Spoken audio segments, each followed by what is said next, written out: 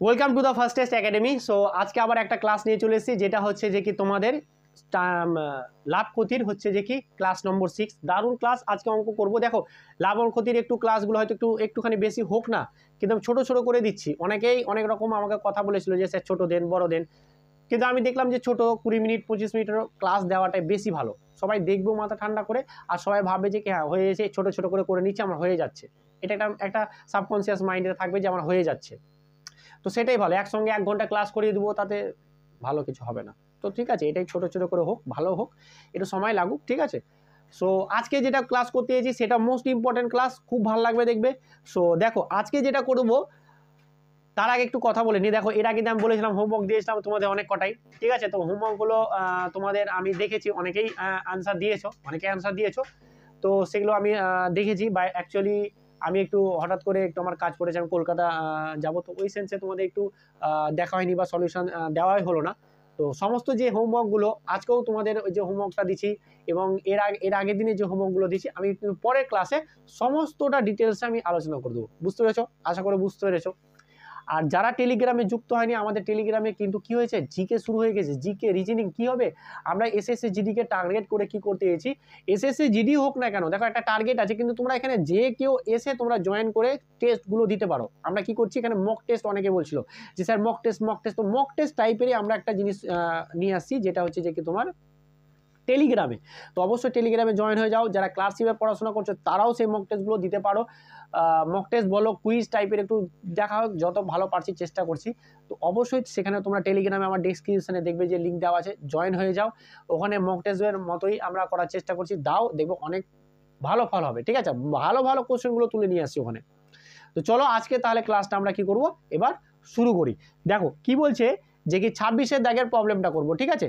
ছাব্বিশের দাগের প্রবলেমটা করব। ছাব্বিশের দাগের প্রবলেমটা কি বলছে দেখো, ভালো করে পড়ো। দেখো, বোর্ডে লেখা উঠছে, ঠিক আছে? ভালো অঙ্ক কিন্তু হ্যাঁ? একদমই ছাড়বে না। এই ধরনের প্রবলেমগুলো পরীক্ষা এলে অনেকে ঘাবড়ে যায়, ঠিক আছে? তো ঘাবড়াবার কিছু নেই। টু ইজি অঙ্ক টু ইজি ঠিক আছে? টু ইজি অঙ্ক। দেখো, কি বলছে? বলছে যে, এক ফল বিক্রেতা তার সমস্ত আপেলে চল্লিশ পার্সেন্ট বিক্রয় করেও চারশো কুড়িটি আপেল অবশিষ্ট আছে। তার মানে কি করছে? যে কি কিছু আপেল নিয়ে গেছিল যেটাকে হান্ড্রেড পার্সেন্ট হিসেবেও ধরছে। ধরে নিলাম যে একশোটাই নিয়ে গেছে, তার মধ্যে চল্লিশ পার্সেন্ট বিক্রি হচ্ছে চল্লিশ পার্সেন্ট বিক্রি করে দেওয়া মানে কি? চল্লিশটা বিক্রি করে দেওয়া। তাহলে বলছে যে এতটাই যে বিক্রি করে দেয়, তারপরেও কি করছে? যে সাতশো, চারশো কুড়িটা থেকে গেছে। টু ইজি অঙ্ক, দারুণ লাগবে, মজা, হেভি লাগবে। দেখো, এখন কি বলছে? যে ও ধরেছে কি? আমার হান্ড্রেড পার্সেন্ট আপেল আছে। ঠিক আছে? এটা কি করছে আমরা? ছাব্বিশের দাগের অঙ্কর সলিউশন করছি। তাহলে এর মধ্যে কি করছে ও? ফর্টি পার্সেন্ট কী করেছে? বিক্রি করে দিয়েছে। তাহলে আমার কতটা পড়ে আছে বলো তো দেখি একবার। ষাট পার্সেন্ট আবার যদি চল্লিশ পার্সেন্ট বিক্রি হয়ে যায়, তাহলে আমার ষাট পার্সেন্ট কী আছে? এখনও বিক্রি করতে বাকি আছে। আর এই ষাট পার্সেন্টটাই এই ষাট পার্সেন্টটাই বলে দিয়েছে কতটা? চারশো কুড়ি পিস এই ষাট পার্সেন্টটাই বলে দিয়েছে চারশো কুড়ি পিস তাহলে এটা যদি কুড়ি পিস হয়, তার মানে আমার আমার হান্ড্রেড পার্সেন্টটাই তো হচ্ছে যতটা সংখ্যা। তাহলে এখান থেকে যদি আমি ওয়ান পার্সেন্ট বের করি ওয়ান পার্সেন্ট মানে কি? ষাটটা কিন্তু ওখানে নিয়ে চলে যায়, তার মানে তো এক থাকবে, তাই না? তাহলে আমি ধরো ষাটটাকে এদিকে নিয়ে চলে গেলাম, ঠিক আছে? তাহলে এদিকে ওয়ান পার্সেন্ট থাকল, তাহলে এটা যদি কাটি, তাহলে কত হচ্ছে? সাত, তার মানে হচ্ছে সাত। এবার আমি কি জানি হান্ড্রেড পার্সেন্ট মানেই তো হচ্ছে আমার টোটাল আপেলের সংখ্যা। তাহলে আমি বোথ সাইডকে ওয়ান পার্সেন্ট সমান আমার এসছে সাত। তাহলে আমি যে বোথ সাইডকে কি করব? হান্ড্রেড দিয়ে গুণ করে দেবো। তাহলে হান্ড্রেড দিয়ে যদি গুণ করে দিই, এটাকে তার মানে আমার, এটা আমার কি চলে হান্ড্রেড পার্সেন্ট এদিকে যদি হান্ড্রেড দিয়ে গুণ করি, তাহলে এটা কত হয়ে গেল? সাতশো? বাস গেল। তাহলে হান্ড্রেড পার্সেন্ট মানেই তো আমি বলেছিলাম যে আমার টোটাল আপেল সংখ্যা। টোটাল আপেল সংখ্যা যদি হান্ড্রেড পার্সেন্ট হয়, তার মানে আমার কি হয়ে গেল? সাতশোটা আমার কি হয়ে গেল? টোটাল আপেল সংখ্যা। বুঝে গেছে আর এটাই চেয়েছে। এখন দেখো, এই অঙ্কটাকে আর কতভাবে করা যায়? মোট আপেলের সংখ্যা কত বলে দিয়েছে? যে সাতশো পিস হলো? এবার এইখানে আমার একটা মানে আমি পড়াচ্ছিলাম, তার মাথায় মানে অঙ্কটা পড়ছি, আর মাথায় অন্য কিছু চলছে। মানে এইটা হয়ে গেল সাতশোটা আপেল। এখন এখানে বলতে পারতো যে তাহলে কটা আপেল বিক্রি হলো, কটা আপেল বাকি আল, বাকি আছে? তাই তো? তার মানে আমার চল্লিশ পার্সেন্ট বিক্রি হয়েছে মানে এর চল্লিশ পার্সেন্ট কত? এটা আর এর ষাট পার্সেন্ট কত? সেটা বের করতে পারব? তাহলে এর ষাট পার্সেন্ট আমি একবার চল্লিশ পার্সেন্ট বের করলে তো বিয়োগ করলে হয়ে যাবে। তাহলে এটা যে ষাট পার্সেন্ট দেখো বের করছি, এটা এটা কাটছে, এটা এটা কাটছে, তাহলে আমার কত? চার সাথে আঠাশ মানে হচ্ছে দুশো আশি পিস তারপরে দুশো আশি পিস কী হয়েছে? আমি একটা কোশ্চেনে কিন্তু অনেক কিছু বের করার চেষ্টা করি মানে আমার চল্লিশ পার্সেন্ট বিক্রি হয়েছে মানে দুশো আশিটা কী হয়ে গেছে বিক্রি হয়ে গেছে। আমার থাকছে কটা তাহলে? আমার টোটাল হচ্ছে সাতশো আশি, ভালো করে বোঝো। আর আমার বাকি আছে কত? বিক্রি হয়েছে কত? দুশো আশিটা। তাহলে বাকি কটা? বাকি কটা দেখো। দুই, চারশো কুড়ি, আর চারশো কুড়িটা বলেছিল যে চারশো কুড়িটা বাকি আছে। সব ঠিক আছে তো?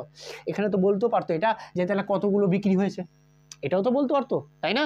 অবশিষ্ট এত আছে, তাহলে আমার কতগুলো বিক্রি হয়েছে? পার্সেন্টেজ হিসেবে। তখন তো আমাকে দুশো কুড়িটা দুশো আশিটা এটাও বের করতে হতো, এটাও বের করলে হতো। তবে এই অঙ্কটাতে যতগুলো প্রবলেম মানে আসতে পারে, তার ব্যাপারে পুরোটা আলোচনা করে দিলাম। বুঝে গেছে? চলো, এরপরে কি করব? আশা করি বুঝতে পেরেছ। দারুণ অঙ্ক, দারুণ। এই ধরনের অঙ্কগুলো পরীক্ষায় এলে না মানে বলবে দিল গার্ডেন গার্ডেন হয়ে গেয়া। আর এইসব অঙ্কগুলো মনে হচ্ছে যে কি হ্যাঁ স্যার কত সহজ করে পাতি পাতি করে দিচ্ছে কিন্তু পাতি পাতি না এলা গাছ গাছ। ঠিক আছে? বড় বড় বট গাছ, পাকুর গাছ, ঠিক আছে? তোমরা সহজে পেয়ে যাচ্ছ, ভাবছ যে কি ঠিক আছে? দেখো, এরপরে যেটা করব, উনত্রিশের দাগের প্রবলেমটা উনত্রিশের দাগের প্রবলেমটা পড়ো। বলছে, একটা পেন পর পর দশ পার্সেন্ট এবং কুড়ি পার্সেন্ট লাভে বিক্রয় করলে। একটা পেন আছে, সেটাকে পর পর আমি কি করলাম, দশ পার্সেন্ট ও কুড়ি পার্সেন্ট দেখো, এইখানে কিন্তু একটা ব্যাপার আছে।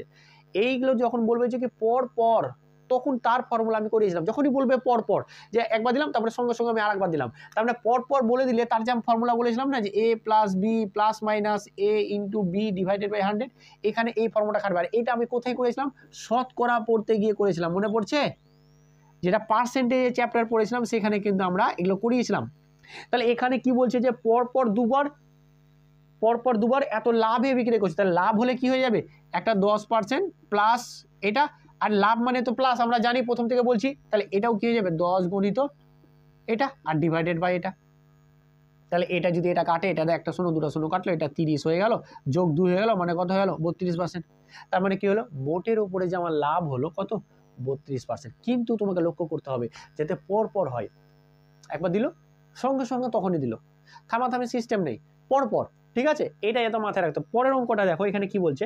যে তিরিশের দাগের অঙ্কটা পড়ো, তাহলে এই অঙ্কটা বুঝতে পারবে। দেখো, তিরিশের দাগের অঙ্কটা কি বলছে? দেখো, আশা করি বুঝতে পেরেছ উনত্রিশ দাগের প্রবলেমটা ঠিক আছে? এবার তিরিশের দাগের প্রবলেমটা বলছে বলছে একটি বই প্রথমে দশ পার্সেন্ট ক্ষতিতে এবং পরে আট পার্সেন্ট লাভে হস্তান্তরিত হলো। তারপর হস্তান্তরিত হলো মানে কি? আমাকে আট পার্সেন্ট প্রথমে দশ পার্সেন্ট লাভ হলো, তারপরে সঙ্গে সঙ্গে দশ পার্সেন্ট ক্ষতি হলো, তারপরে সঙ্গে সঙ্গে আমার আট পার্সেন্ট কী হয়ে গেল? লাভ হয়ে গেল। দেখ, পরে সঙ্গে সঙ্গে এটা, ঠিক আছে? তাহলে বলছে যে, তুল্য লাভ কত? তাহলে আমার কি বলছে যে কি তুল্য সরি সরি সরি মোটের ওপর লাভ বা ক্ষতি কত? এটা তিরিশে দেখে প্রবলেম ঠিক আছে? তাহলে দেখো, আমার সেম প্রবলেম এবার কি বলছে যে প্রথমে আমার দশ পার্সেন্ট ক্ষতি ক্ষতি মানে আমার বিয়োগ, আর লাভ মানে হচ্ছে যোগ, আর যোগ, বিয়োগ যখনই হবে তখন এখানে বিয়োগ হবে দেন আমার কিছু করার নেই, এখানে এটাকে, এটা কি করব? গুণ করব দেন এটা একশো করে দেবো, বাস আমার কাজ হয়ে গেল, তাহলে এখানে কত হলো? এটা মাইনাস হলো দুই ঠিক আছে? এখানেও মাইনাস আসবে। এবার এটা এটা কাটলাম, এটা এটা কাটলাম। এখানে কাট, কাটবো চার দিয়ে। দুই দিয়ে কাটবো সরি তাহলে এটা চার হবে। আর এটা? এটা কত হবে? পাঁচ হবে। ঠিক আছে? তাহলে এটা কত হয়ে গেল? এটা হলো চার বাই পাঁচ। কোনো অসুবিধা নেই। হয়ে গেল? তাহলে এটা যদি আমি করতে চাই, তাহলে দেখো এখানে দশমিক অ্যান্সার আছে নাকি? এটা দশমিক অ্যান্সার আছে, ঠিক আছে? তাহলে দশমিকে যদি আনসার থাকে, তাহলে দেখো এটাকে যদি আমি, এটাকে যদি ভাঙতে যাই, এটা সমান সমান মানে চার বাই এইট মানে হচ্ছে জিরো পয়েন্ট এইট তুমি যখন ভাঙতে আবার তার দশমিক নিয়ে একটা শুনলাম পাঁচ আটে চল্লিশ, তাই তো? পাঁচ আটে চল্লিশ, তাহলে পয়েন্ট এইট আসছে। বুঝতে পেরেছ তো? পরেও দেখে দিলাম। তাহলে এটা কি হলো? এটা এলো মাইনাস কত এলো মাইনাস হলো zero point eight point eight আর জিরো পয়েন্ট এইট একই কথা, ঠিক আছে? তাহলে এটা কত দাঁড়াচ্ছে? যে মাইনাস এটা কারণ মাইনাস মাইনাস থাকলে আমার কি করতে হয়? সংখ্যাগুলো যোগ করতে হয়। কিন্তু সাইনটা আমাকে বিয়োগ নিতে হয়। তাহলে বিয়োগ মানে কি হলো? ক্ষতি। আমরা প্রথম থেকে পড়ে আসি বিয়োগ মানে ক্ষতি। তার মানে এটা কি হলে? এত পার্সেন্ট কি হলো? ক্ষতি হয়ে গেল। আমার ক্ষতি হয়ে গেল। ডাউন হয়ে গেল। মার্কেট ডাউন হয়ে গেল। তার মানে কি হয়ে গেল? তিরিশের অঙ্কটা সি অ্যান্সার হবে টু পয়েন্ট এইট পার্সেন্ট ক্ষতি হয়ে গেল। আশা করি বুঝতে পেরেছ। তাহলে এই ধরনের প্রবলেমগুলো যদি পরীক্ষায় আসে, তাহলে আশা করি কোনো রকম ডাউট হবে না। দেখো, এই ধরনের প্রবলেমগুলো খুব একটা টাফ না। সত্যি বলছি, খুব একটা টাফ না। কিন্তু কি যখন তুমি করতে যাবে, তখন মনে হবে যে কি হ্যাঁ কত টাফ একটু না জানলে, একটু না জানলেই। ঠিক আছে? দেখো, এবার কি বলছে? চলো, এইবার যে মোস্ট মোট দারুণ দারুণ অঙ্কটা। তোমরা পড়ো কত দাগের অঙ্কটা? ফিফটি টু এর প্রবলেমটা কত পড়বে? ফিফটি টু ফিফটি টু এর প্রবলেমটা দারুণ অঙ্ক। ঠিক আছে? দেখো ফিফটি টু পড়বে। দেখো ফিফটি টু এর প্রবলেমটা কী বলছে? বলছে যে একটি পাখার দেড়শো টাকা ধার্য মূল্যের ওপর কুড়ি পার্সেন্ট ছাড় দেওয়া হয়। আরও কত ছাড় দিলে ক্রেতা পাখাটিকে এগারোশো চার টাকায় কিনতে পারবে? দারুণ অঙ্ক দারুণ অঙ্ক। কি বলছে দেখো? অঙ্কটা ভালো করে, মাথা ঠান্ডা করে ধৈর্য সহকারে দেখবে। বলছে যে কি, একটি পাখা পনেরোশো টাকা দাম ফেলা আছে, ধার্য মূল্য দেওয়া আছে, এর ওপরে কুড়ি পার্সেন্ট ছাড়। তাহলে এর ওপর যদি কুড়ি পার্সেন্ট ছাড় দেওয়া হয়, তাহলে আমি কি বলব?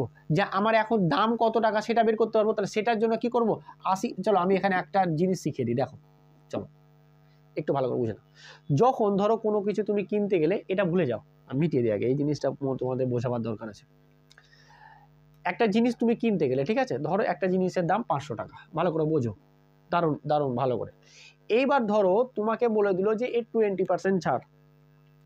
তাহলে তাহলে তুমি যদি টোয়েন্টি পার্সেন্ট ছাড়, ঠিক আছে? ভালো করে বুঝো। টোয়েন্টি পার্সেন্ট ছাড়। ভালো করে বুঝে নাও কথাটা।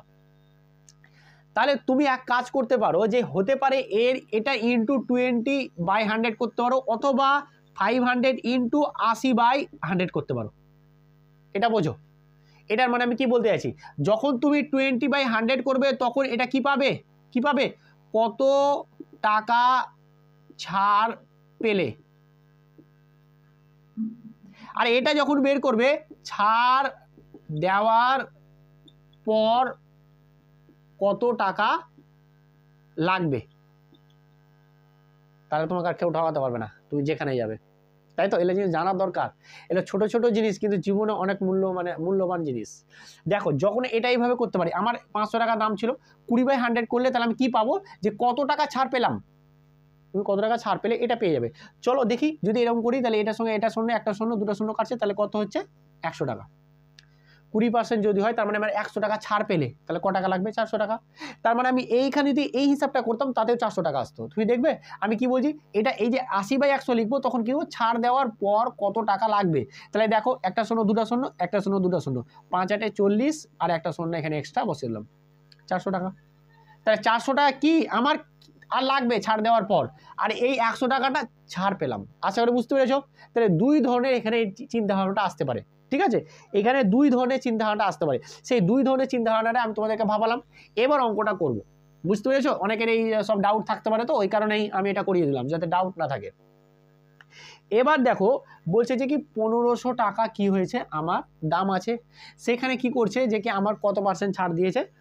কুড়ি পার্সেন্ট ছাড় দিয়েছে। তাহলে কুড়ি পার্সেন্ট ছাড় দেওয়া হয়, তাহলে আমি কি করব? যে আশি বাই কুড়ি লিখব। আশি বাই একশো লিখব। মানে কুড়ি টাকা মানে একশো থেকে আমি কুড়ি টাকা বাদলাম মানে একশো টাকার মধ্যে যদি আশি টাকা দাম হয়, তাহলে এত টাকার মধ্যে দাম কত? তাহলে আমি টোটাল দামটা বের করে নেব। অ্যাকচুয়াল দামটা কত?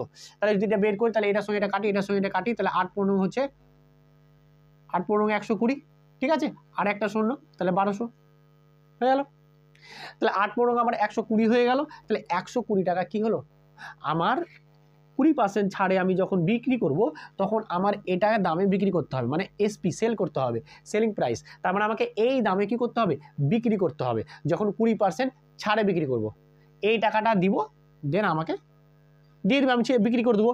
এইটা হয়ে গেল আমার কি? বিক্রয় মূল্য বা এসপি এবার আমাকে কি বলতে চাইছে? এখন বলছে যে কি, আর কত ছাড় দিলে ক্রেতা পাখাটিকে এগারোশো চার টাকায় দিয়ে কিনতে পারবে? তার মানে আমাকে এখনও আরও কিছু ছাড় দিতে হবে। তবে ও এগারোশো চার টাকায় কিনতে হবে। তাহলে আমি ধরে নিলাম অঙ্কটা ভালো, খুব ভালো অঙ্ক। আমি ধরে নিলাম যে আমার এক্স পার্সেন্ট ছাড় দিতে হবে। তার মানে আমার এর উপর এক্স পার্সেন্ট ছাড়, এই বারোশো টাকা ইন্টু এর এক্স পার্সেন্ট ছাড় এক্স পার্সেন্ট ছাড় মানে আমার কত টাকা হবে? হান্ড্রেড মাইনাস এক্স করতে হবে তো ডিভাইডেড বাই একশো করতে হবে তো, তাই না? আমি যদি এক্স বাই আমি একশো লিখে দিতাম, তাহলে কত পেতাম? কি পেতাম? যে ক টাকা ছাড় দিলাম।